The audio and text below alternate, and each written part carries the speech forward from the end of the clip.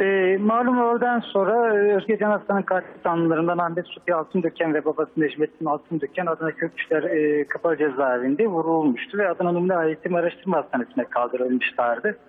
E, neyle vuruldukları netleşti. Silahla vuruldukları e, kesin bilgiler arasında.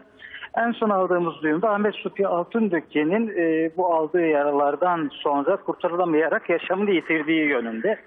Tabii cezaevi içerisinde her ikisi de ayrı ayrı hücrelerde kalıyor. İkisinin bir anda nasıl vuruldu, silahın içeriye nasıl sokuldu, e, olayın ne şekilde meydana geldiği yönünde çok sayıda soru işareti var kafamızda. Bu sorulara da Adana Cumhuriyet Savcılığı, e, Cumhuriyet Başsavcılığı birazdan adliyede bir e, açıklama yaparak net bir şey söyleyecek diye bekliyoruz. Babasının durumu hakkında e, net bir şey yok. Hala ameliyatta olduğunu öğrendik. E, tedavileri sürüyor. E, aynı cinayetten sanlı Fatih Gökçe e, Gaziantep kapalı cezaevinde e, cezasını çektiğinden dolayı onunla ilgili henüz net bir şeydi. Yok. Tabii tekrar tekrar söylüyorum. İlk etapta gelen bilgiler zanlıların bıçakla vurulduğu yönündeydi. Daha sonra silahla vuruldukları yönünde bilgi aldık. Sonra ikisini de öldüğü, sonra tekrar birinin yaşadı. Ama tabii net bilgileri birazdan Adana Cumhuriyet Başsavcılığı'nın yapacağı açıklamada öğrenmiş olacağız. Ancak şunu net bir şekilde söylemekte fayda var. Ahmet Supi Altındöken aldığı saldırıdan kurtarılamayarak yaşamını yitirdi. Peki Beycan Üç Kardeş aktardı. Ee, şimdi bir telefon bağlantımız daha olacak. Özgecan'ın ailesinden bir aile mensubunun amcasına soracağız. Yaşasın Arslan'a soracağız. Kendisi bizi duyabiliyorsa eğer. Evet duyuyorum. Merhabalar ve hoş geldiniz. Merhabalar. Ee, Özgecan'ın ölümü bütün, bütün Türkiye'nin vicdanını ayağa kaldıran bir ölümdü. Bugün de böyle Evet. bir e, haberi biz anlatıyoruz. Siz de duydunuz. Evet. Ve o zor soru sizin için ne anlam ifade ediyor? Duyduğumda yorumsuz kalıp sadece sabit bir noktada kalmayı tercih ettim. Neden diye sordum.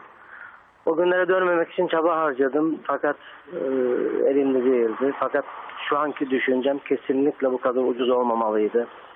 Kesinlikle şu an çok net söyleyebiliyorum. Üzüldüm. Ölmemeliydi.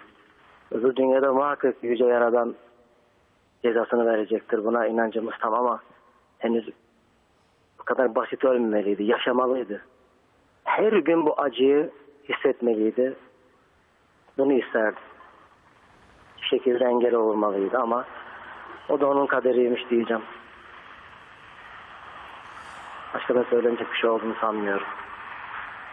Aslında çok zaten kuvvetli ifadeler kullanıyorsunuz ve e, sizi hissediyoruz söylediklerinizi. E, dolayısıyla e, çok da yormak da istemiyoruz ama ailesiyle siz amcasınız, babasıyla e, Özgecan'ın başka yakınlarıyla da Evet. haberleştiniz mi bu bunu duyduktan sonra? Görüştüm, görüştüm. Kimse görüşmek istemiyor. Benimle bile konuşmuyor. Abim telefonunu bile açmıyordu.